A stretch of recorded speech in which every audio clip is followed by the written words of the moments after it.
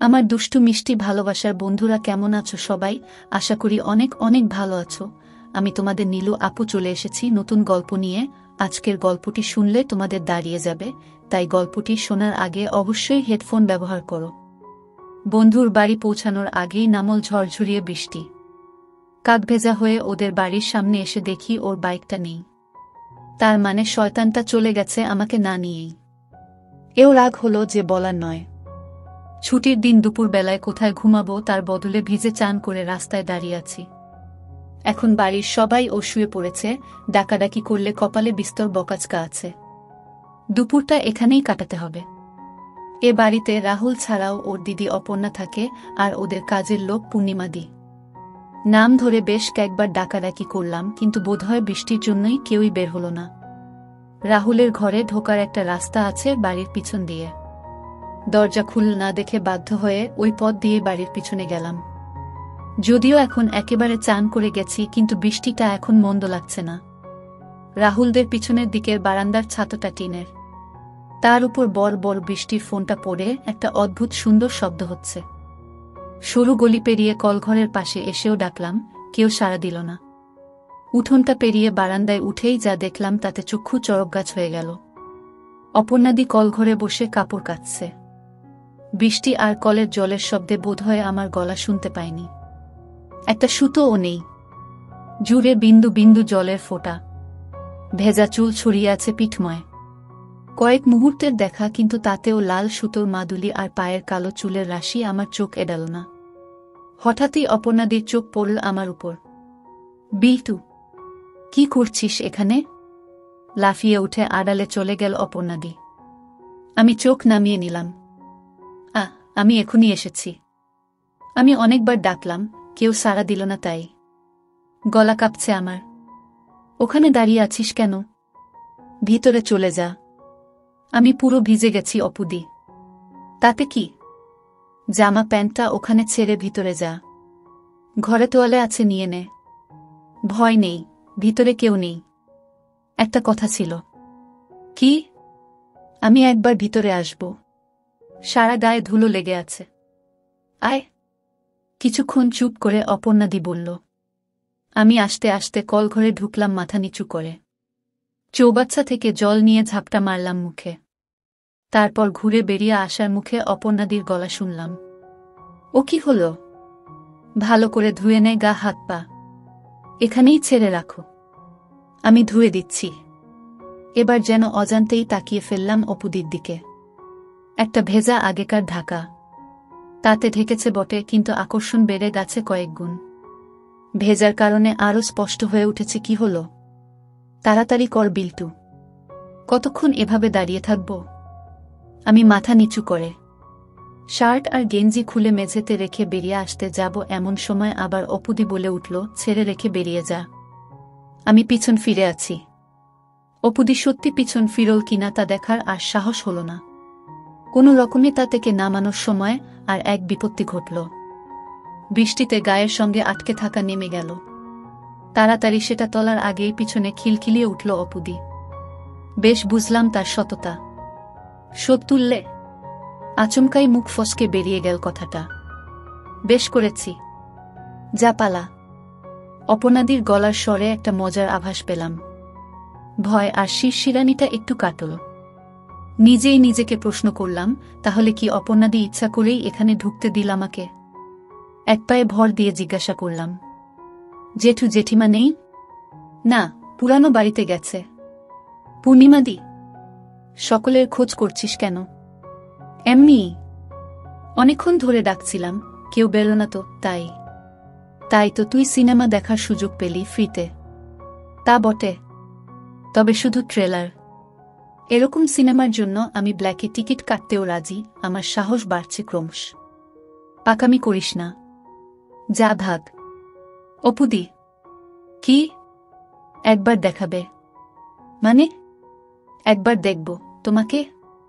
কি? প্লিজ। খুব ইচ্ছা করছে। বেরো এখনই প্লিজ দিদি, এরকম সুযোগ আর পাব না।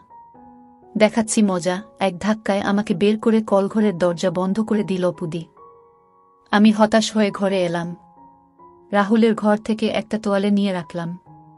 রাহুলের ঘরের বারান্দা থেকে নিচেটা দেখা যায়। এখানে বসে বেশ কয়েকবার আড়াল থেকে আমরা পূর্ণিমাদির পানি বের করা দেখেছি। বারান্দায় সরে এসে নিচের দিকে তাকিয়ে রইলাম। মিনিট দশেক পরেই স্নান সেরে বেরোল অপর্ণাদি। পরে গামছা ছাড়া আর কিছু নেই। ওইভাবেই উঠোন পেরিয়ে পিছনের দিকের দরজাটা বন্ধ করে উপরে উঠে এলো। আয়নার সামনে নিচু টুলে বসল অপুদি। আমি পাউডারের কৌটো থেকে হাতের তালুতে পাউডার ঢাললাম, তারপর অপুদির পিঠে দিলাম। আমি আসতে আসতে হাতটা নামালাম। তোয়ালেতে আটকে যাচ্ছে অপুদি। অপুদি কিছু না বলে তোয়ালের গিটটা খুলে দিল। তারপর আমাকে ঠেলে সরিয়ে উঠে দাঁড়াতেই তোয়ালেটা শুকনো পাতার মতো খসে পড়ল। দেখবি বলছিলি না? দেখ কি দেখবি? হায়, সত্যিই কি দেখো বুঝে উঠতে পারছিলাম না। এত কাছে একেবারে অপর্ণাদি। সব কেমন গুলিয়ে গেল। যেন নিজের গায়ে চিমটি কেটে দেখতে ইচ্ছা করছে স্বপ্ন দেখছি কিনা। চোখের সামনে একজন দেখাচ্ছে। ভেবে পাচ্ছিলাম না কি করব। থরথর করে কাঁপছে সারা শরীর। চোখ সবকিছু দেখতে চাইছে, কিন্তু কেন জানি না সাহস করে উঠতে পারছি না। কি হলো? দেখবি না? নরম গলায় বলল অপুদি। তাকা তাকা বলছি আমার দিকে। আস্তে আস্তে চোখ তুললাম। অপুদিকে ভীষণ লাগছে, সেটা বলাই বাহুল্য। টানা টানা চোখ, জোড়া ভ্রু, সব মিলিয়ে অনেকটা দক্ষিণী সিনেমার নায়িকাদের মতো দেখাচ্ছে। ভেজা চুল ছড়িয়ে আছে চুলের মধ্যে, ঘাড়ে, কাঁধে এখনও জলের ফোঁটা লেগে রয়েছে। অপুদির চোখে চোখ পড়তেই চোখ নামালাম নিচের দিকে। এবার আমি সরাসরি দেখতে পাচ্ছি। অপুদির গায়ের রঙের তুলনায় বেশ পরিষ্কার, তবে তা দক্ষিণী নায়িকাদের মতো বেশ বর্ণায়। যেন অনেকটা মাধ্যাকর্ষণকে উপেক্ষা করে আকর্ষণ করছে আমাকে। অপুদির গলা শুনে সম্বিত ফিরল। তাকালাম ওর মুখের দিকে। কি রে, বললি না তো। কেমন? খুব সুন্দর। একটু ধরব। পারমিশন নিচ্ছিস? যদি দাও। আমার মাথার চুল ধরে অপুদি বলল, ওরে বাদর, ধর। যা খুশি কর। বুঝিস না নাকি কিছু? আমি আর থাকতে না পেরে দুই হাতে দুটো ধরলাম। এ মনে হলো পিছলে বেরিয়ে গেল বুঝি। বসে বেশ জোরে চাপ দিয়ে ফেললাম। অপুদি বলে উঠল, আস্তে বিল্টু। সরি, অনেক সময় আছে। তাড়াহুড়ো করিস না। তাহলে তোর ও ভালো লাগবে না, আমার ও না। আমাকে বিছানার কাছে নিয়ে এলো অপুদি, তারপর একটানে আমার ততক্ষণে কলা গাছ। এবার বিছানায় শুয়ে পড়ে ও বলল, নে, যা দেখবি দেখো। আমি এবার নিচে মনোনিবেশ করলাম। নিচ থেকে নেমে এসেছে হালকা চুলের রেখা। সেটাই নিচে নেমে বেশ ঘন জঙ্গল তৈরি করেছে। আমি হাত দিয়ে ওর মধ্যে বিলি কাটতে লাগলাম। অপর্ণা দি নড়ে উঠে শক্ত হয়ে গেল। মেঘলার জন্য ঘরে এল কম। তাছাড়া জানালোর পর্দাগুলো ও টানা। তাই বিশেষ কিছু দেখতে পেলাম না। আন্দাজে আরও গভীরে নিয়ে গেলাম। এতদিনের ফিল্ম আর ম্যাগাজিন দেখার অভিজ্ঞতার সঙ্গে মিলিয়ে আন্দাজ করার চেষ্টা করছিলাম। নামল নরম একটা সুরঙ্গের মধ্যে। অপুদি চোখ বুঝে ফেলেছে। শ্বাস পড়ছে ঘন ঘন। বেশ বুঝছি ও খুব ই এনজয় করছে। তাড়াহুডো করার কোনো মানে হই না। আমি এবার আমার নামিয়ে আনলাম। ভালো লাগছে অপুদি? হুম। কি? বাথরুম। এখন? প্লিজ। খুব জোরে পেয়েছে। এখন নিচে নামতে হবে না। এদিকে আয়। বাধ্য ছেলের মতো অপুদিকে অনুসরণ করলাম। বারান্দার এক কোণে এসে পাল্লাটা খুলে দিল। বলল, এখানে করে নে। বৃষ্টিতে ধুয়ে যাবে।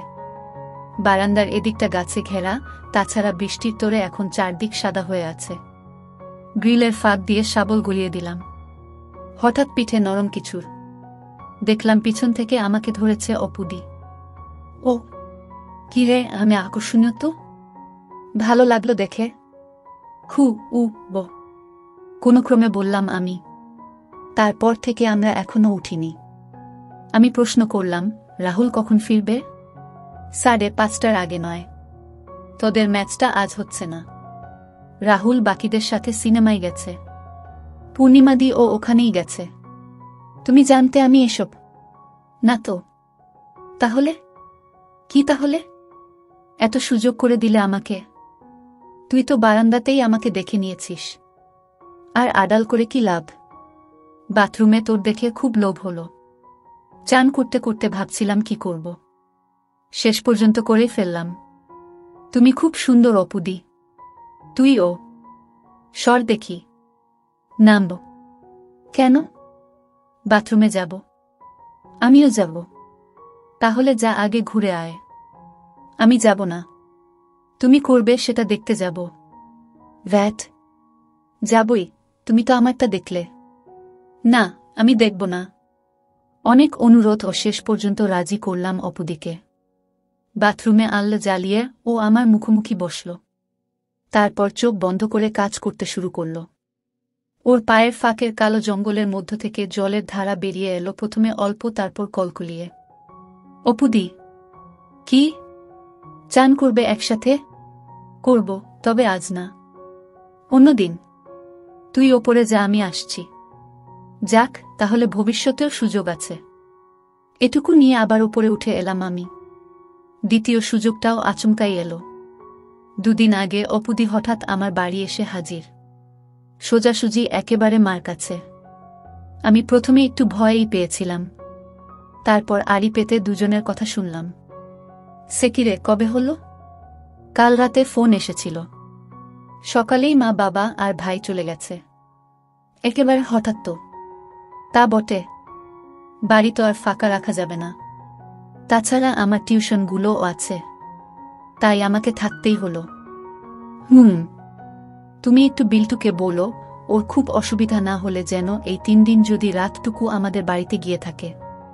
অসুবিধা আবার কিসে দিনরাত আড্ডা মেরে বেড়াচ্ছে। ওকে কি আমি একবার জিজ্ঞাসা করব? না না। তোকে কিছু জিজ্ঞাসা করতে হবে না। ও যাবে। তাহলে বলো রাতের খাওয়াটা আমার সাথেই খেয়ে নেবে। আমাদের তো রান্নার লোক করে দিয়ে যায়, অসুবিধা হবে না। ঠিক আছে। আসি তাহলে। সে কি? কিছু খাবি না? না গো, একটা ব্যাচ বসিয়ে এসেছি। রিক্সা দাঁড়িয়ে আছে। যা তাহলে, সাবধানে যাস। অপুদি বেরোনোর আগেই আমি এক দৌড়ে নিচে নেমে এলাম। অপুদি যাবার সময় আমার দিকে মুচকি হেসে বেরিয়ে গেল। আমিও হাসলাম। মায়ের হুকুম অনুযায়ী রাত আটটা নাগাদ সাইকেল নিয়ে রাহুলদের বাড়ির দিকে রওনা দিলাম। অবশ্য যাবার আগে একটু কপট আপত্তিও করেছি। আমাকে কেন? ধূর অন্যের বাড়ি রাতে থাকতে ভালো লাগে না। এইসব আর কি? কিন্তু মা বলল, একটা মেয়ে বাড়িতে একা থাকবে। তোর কি কোনো কাণ্ডজ্ঞান নেই? আপত্তি না বাড়িয়ে আমি বেরিয়ে এলাম। পৌঁছাতে পাঁচ মিনিটের বেশি লাগল না। অপুদি দোতলার বারান্দায় দাঁড়িয়েছিল আমায় দেখে নিচে নেমে এসে দরজা খুলল। আমি সাইকেলটা সিডির নিচে রেখেই ওকে পিছন থেকে। অপুদি বোধহয় সবে স্নান করেছে। চুল এখনও ভিজে। দুহাত দিয়ে ধরে ঘাড়ে আদর খেতে লাগলাম। অপুদি কিছুক্ষণ পরে বলল আর না রান্নাঘরে পূর্ণিমা দিয়াছে। দুজনে ওপরে উঠে এলাম। ঘরে টিভি চলছে। চ্যানেল পাল্টে পাল্টে কিছুক্ষণ টিভি দেখার পর ই পূর্ণিমাদি এসে জানালো তার কাজ শেষ। অপুদি নিচে গিয়ে দরজা দিয়ে এসে কাউকে ফোন করল। সম্ভবত রাহুলকে, কারণ হ্যাঁ সব ঠিক আছে। চিন্তা করিস না। বিল্টু থাকবে। বাবা মার খেয়াল রাখিস, এই কথাগুলো কানে এলো। ফোন রেখে এ ঘরে এসে অপুদি জিজ্ঞাসা করল, কি রে? কিছু খাবি এখন? হ্যাঁ তোমাকে। খুব পেকেছিস। দাঁড়া, তোর হচ্ছে। বারান্দার জানালাগুলো বন্ধ করে অপুদি পাশের ঘরে চলে গেল। আমার আর তর শুইছে না। বুকের মধ্যে কেমন একটা করছে। গলা শুকিয়ে আসছে। ঠিক ভেবে উঠতে পারছি না যে অপুদির মতো আপাত গম্ভীর একজন মেয়ে আমাকে ডেকে এনেছে। কয়েক মিনিট পরেই ও ঘর থেকে অপুদি ডাক দিল, আয়, এ ঘরে আয়। পাশের ঘরে গিয়ে বেশ অবাক হলাম। এর মধ্যেই অপুদি ঝুল হাঁটু অবধি। সারা ঘরে একটা হালকা ধূপের গন্ধ। অপুদি টিউব নিভিয়ে দিল, এই পরেই থাকবি নাকি? না, শর্টস আছে ভিতরে। এ ঘরেও একটা টিভি আছে। সেটাতে নির্বাক যুগের ছবির মতো শাহরুখ খানের কোনো সিনেমা চলছে। খেয়াল করলাম সপকটা জানালা বন্ধ, পর্দা টানা। জামা, প্যান্ট, চেয়ারের ওপর রেখে বিছানায় গিয়ে বসলাম। অপুদি টিভি বন্ধ করল। এখন শুধু ও ঘরে জলে থাকা টিউবের আলো এঘরে আবছা ভাবে আসছে। অপুদি ফিসফিসিয়ে বলল, কি হলো? তখন তো সিডির তলাতেই শুরু করেছিলি, এখন চুপ কেন? ভাবছি। কি? দুটো কথা। শুনি। এক নম্বর যা হচ্ছে সেটা সত্যি না স্বপ্ন।